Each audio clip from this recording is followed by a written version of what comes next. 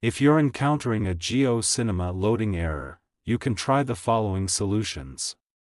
Here are step-by-step solution for JioCinema error. First step check your internet connection, ensure that you have a stable and active internet connection, switch to a different Wi-Fi network or cellular data if possible. Second step clear the cache and data of JioCinema app.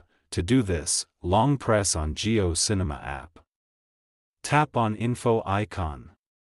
And find storage. Then tap on clear cache. And tap on clear data, confirm to clear it, then go back and find permission. Allow all the permissions. Check if your problem have solved or not. Third step update the Jio Cinema app.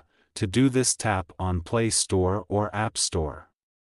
Search for Jio Cinema. Check if there is update. Update it. Fourth step restart your device, reboot your phone or device to refresh its settings, to do this long press on device's power button. And swipe to restart it. Fifth step try using a different device, if you are still getting the error, try using a different device to see if that resolves the issue. Sixth step check for Jio Cinema server issues, sometimes, Jio Cinema may experience server problems. You can check the status of Jio Cinema servers on websites like Downdetector. If you have tried all of the above and you are still getting the error, you can contact JioCinema support for assistance. Here are some additional tips to help you avoid JioCinema errors. Make sure that you are using a supported device.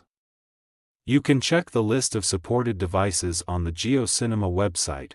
Make sure that you are using the latest version of the JioCinema app Keep your device's operating system up to date, avoid using public Wi-Fi networks whenever possible, as they can be less secure and less reliable than private networks. Use a strong and reliable password for your JioCinema account.